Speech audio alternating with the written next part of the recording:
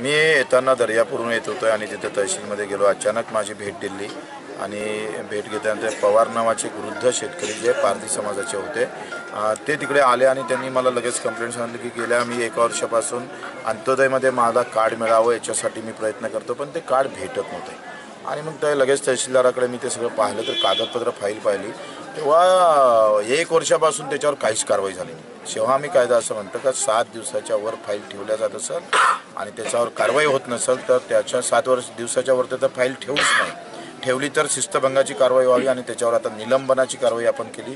मी महाराष्ट्रातल्या या कारवाईच्या निमित्तानं सगळ्या अधिकारी कर्मचाऱ्याला सांगतोय ते कलेक्टर असू दे का सचिव असू दे सेवा आम्ही कायद्याचं पालन झालं नाही तर बच्चू कडूसोबत सामना घ्यावा लागेल.